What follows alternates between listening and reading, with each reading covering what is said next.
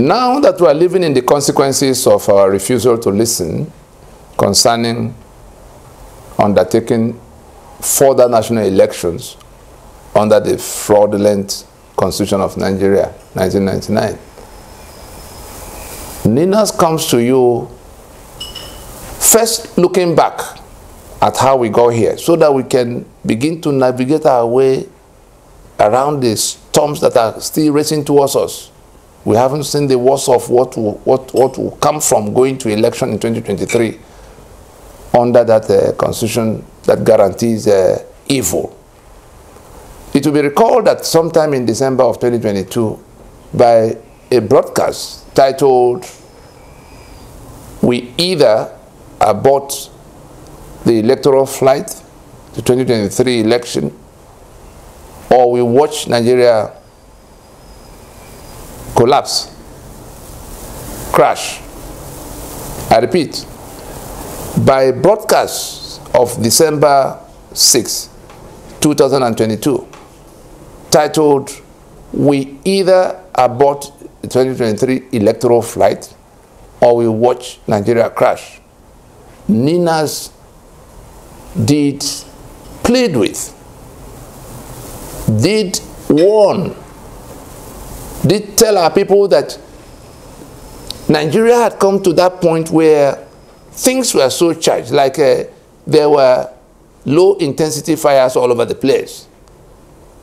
And that going to election will pour fuel into that situation and it will become an inferno. For all of those who are now very hungry, for all of those who are being slaughtered in the manner that had not happened before across the Middle Belt, for all of those who are now looking for where to run to in a Nigeria that uh, is uh, that in a Nigeria that, that has an economy that is on a free fall, currency that is on a free fall, everything that has gone wrong now flowing from the fact that we went to that election at a time we should have been going to transition.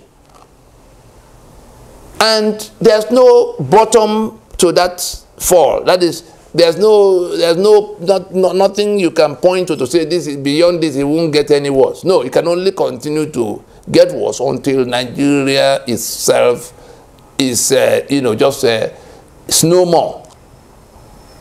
And the Nigerians who are already dying, because uh, the, the, union died a long time ago, but uh, people are still wearing the, the mask and uh, driving the carcass around and killing more people. Our concern, the NINA's concern is for Nigerians. The Nigerians trapped in that carcass of that dead and defunct Federation of Nigeria. You can see the numbers that are dying now. You can see the numbers that are in distress now. And since all the, all the factors that will have uh, worked together to pull them out of their misery are only pushing them further down. There's a responsibility upon them, the Nigerians themselves. There's a responsibility to, to, to put on your thinking cap, put, you know, open your ear and your heart to listen to understand why you are where you are. So that if there's still something that can be done, like Nina says, yes, to avoid getting to the worst that is still ahead, or you think this thing will blow away? No. Your Naira is on a journey. You don't know where that journey will. That was how Zimbabwe's uh, journey began with its currency. And all the ones we saw, we saw uh, uh, was the one uh, next to the, the, the US, uh, where, where their currency has become uh, something they can't, uh, you have to carry a quantity bigger than the pot you want to use to cook to be able to make a pot of soup. The, the currency you need will almost fill that pot.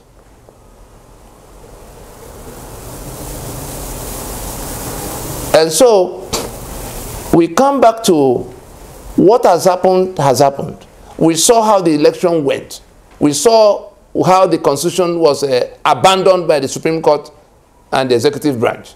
They trampled on that constitution, you know, waiving the 25% required by that constitution. That means that constitution is dead even by their own uh, action. And look at where it has landed you. Look at the kind of, look at the kind of uh, president and uh, government you have got and all of what they are doing and how you are faring in it. So this broadcast is to, even, even more recently, let's remind ourselves that there's one we called a short broadcast, I think it was three minutes. We said ahead of 2023 elections under the 1999 constitution, NINAS warning of their, their consequences, NINAS warning of their consequences. We told everybody that these things are going to happen to them. They didn't listen. But is NINAS now rejoicing? We told you so. No, far from it.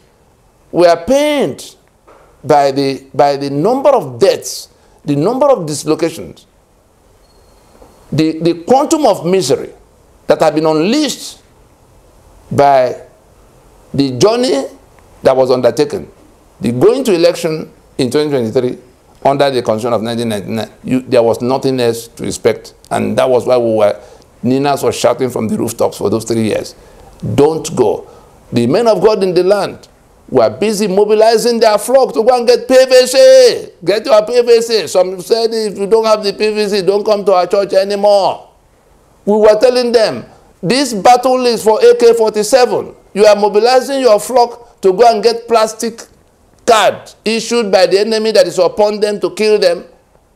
On election day, they discovered, you know, to their shock, that the battle they were coming for was one of uh, metal, AK-47, metal called AK-47. All of that have come and gone. Those men of God, we do not see them, we've not seen them. We, don't, we, we, we, we can't hear what they're saying now. Even now that we're saying we must go to transition. Let all of those who mobilize for PVC, at the time we're telling them it ought to be transition, not election, can they go back to the pulpit now and, and join in the demand for transition so that we can go and sort out the union dispute before the flock will die to the, to the last? You are living in your comfort. The people you mobilize to election are living in the consequences of that election.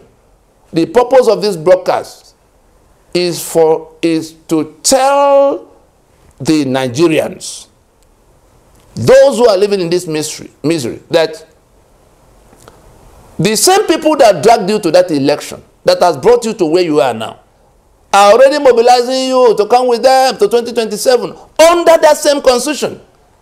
If you if you if you become docile enough if you become dumb-headed enough not to ask those rallying you towards 2027, P2B, under which constitution are you going to take us to production?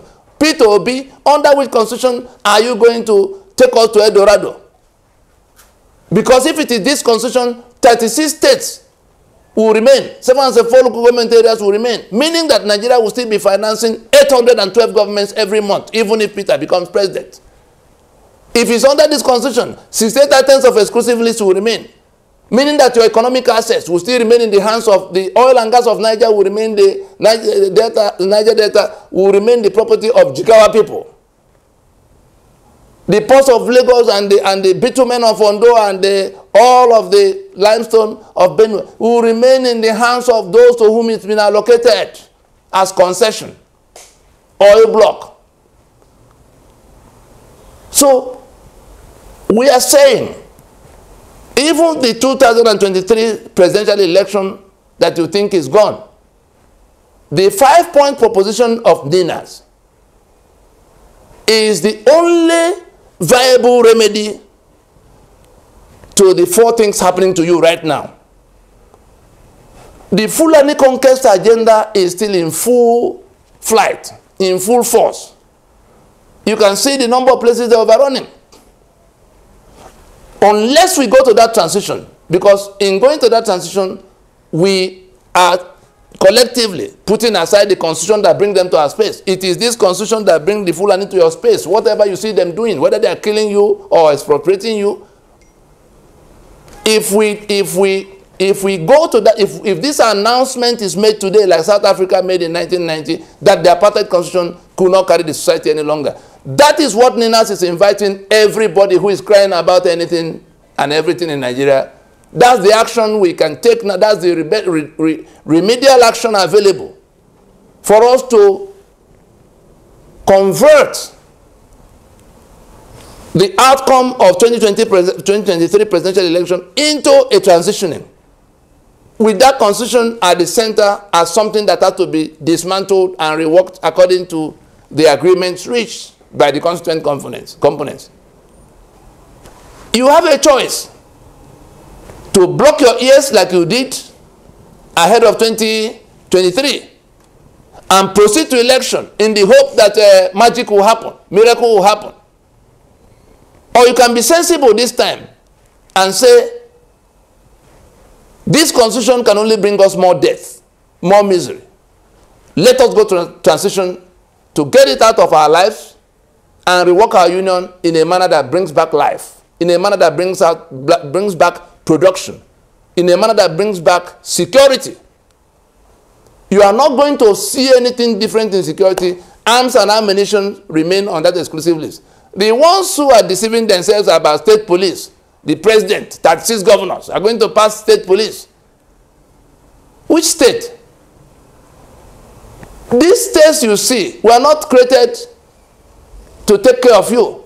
Otherwise, they would have been mandated differently.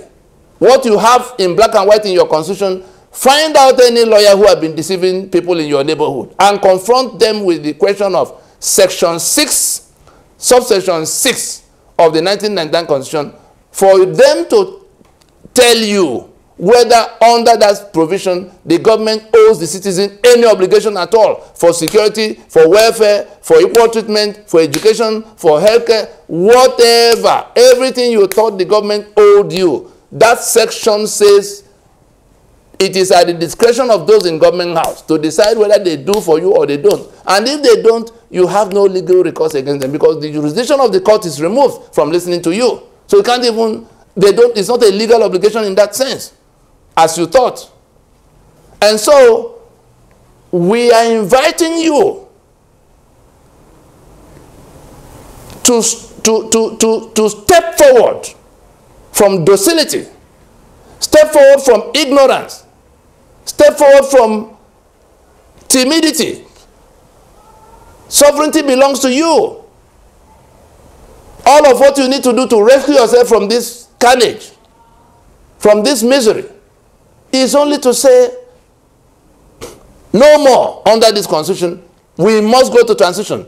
The ones who are planning to do labor union that will go to do protest and the other ones who are planning all kinds of revolution, what you need to do with all that energy is to insist on transitioning now so that this constitution can be put out of the way which license all of what has been happening to you, whether it's the Fulani invasion or the economy that has been hijacked by state captors, people who are just capturing the state for their own purpose. We have seen it. Everything they are doing is to paralyze you. You think they don't know you are suffering? They know you are suffering. We know the kind of characters that are taking this decision to increase your suffering so that you are not able to organize yourselves. This hunger that you're facing is a part of the containment strategy of your government. Otherwise, go find out why they announced withdrawal of uh, fuel subsidy. What has happened now?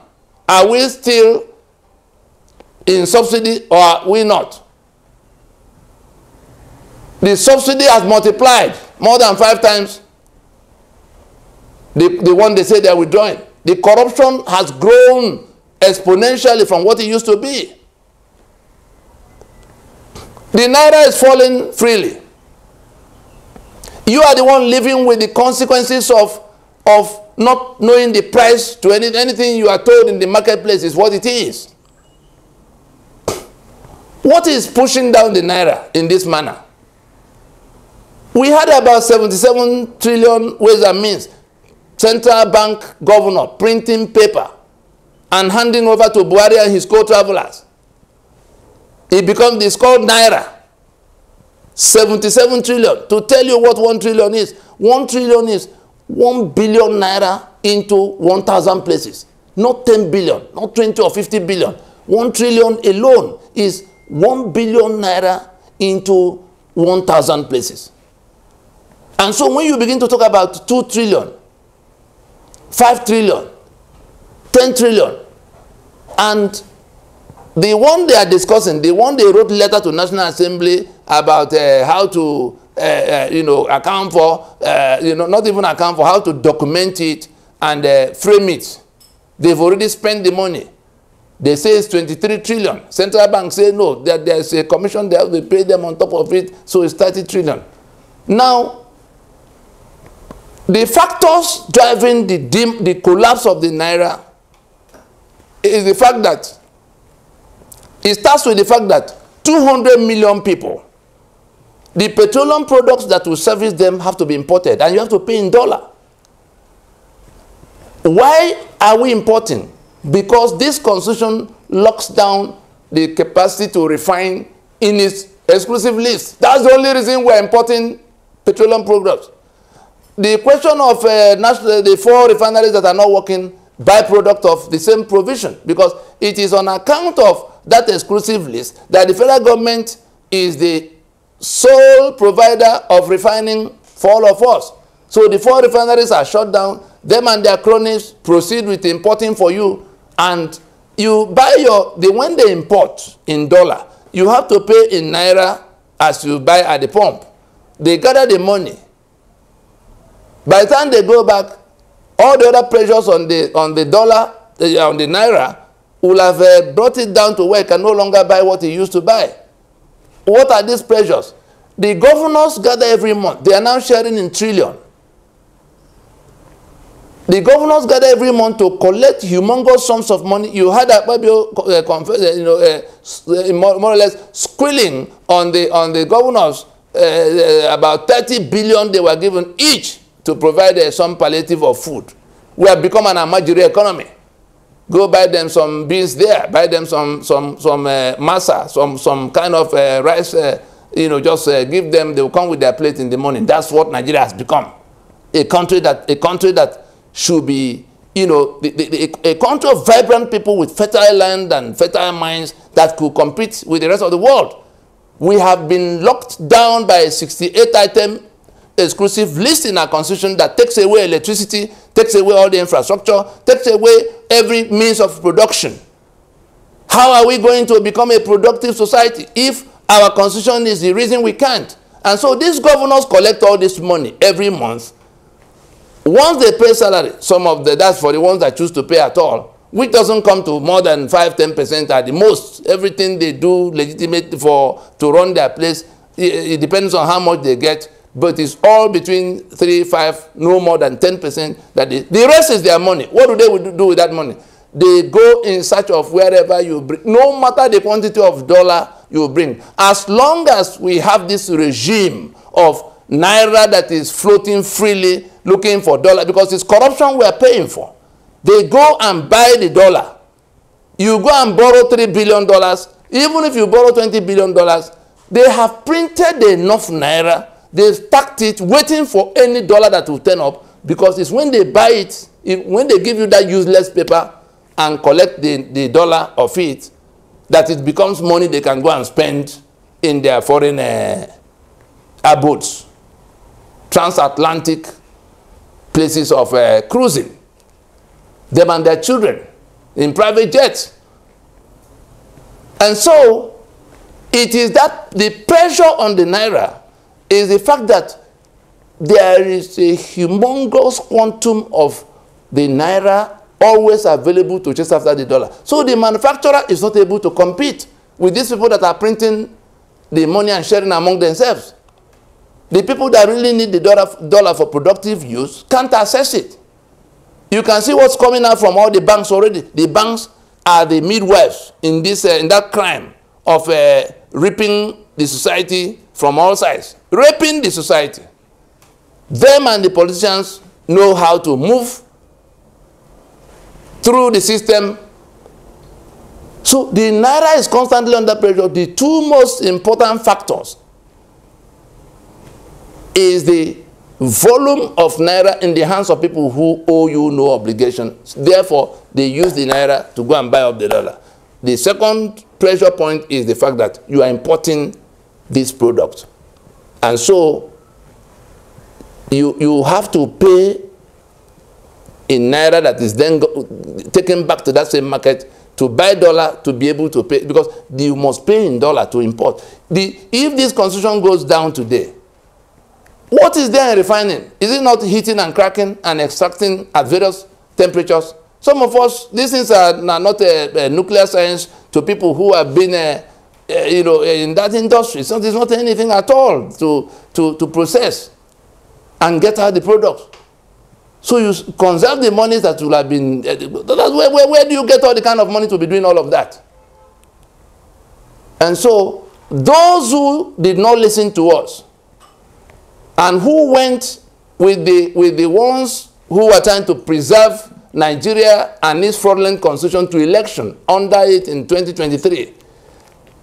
If you cannot listen even now to insist on transition to get rid of this constitution, you can even be more foolish in saying in 2027 we'll get it right. I'm sorry for you. You better pray. There was something we saw on Twitter the other day. Somebody who says that the daughter will be chased out of school. He was uh, uh, you know, a, a, a, a mandate, uh, a stolen mandate uh, juggernaut.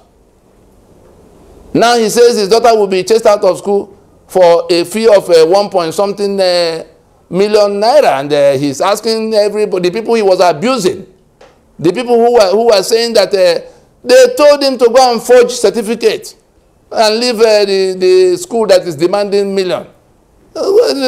just a first certificate and, and the, man is doing well. Has he not approved today? Those are the kind of answers. The man is in distress. But he was the one promoting the evil that happened. And so, let us dress back. Let's be clear in our minds. If we choose, if it is, if it is our choice to continue to construct Nigeria on the foundation of this fraud, to continue to construct Nigeria's democracy on the basis of this uh, atrocity, then we are inviting, we are saying that we are happy with everything that has happened and more to happen. But if we reject this constitution, if we reject this fraud, if we reject this torment, this is the time to move away from where we were traveling to election before, make a U-turn and come and join those who are saying this constitution must go. Let us go to transition to work out what will replace it. Or let us dissolve the union. The constituent components will be more than able to take care of themselves and compete in the 21st century global community. We stop there.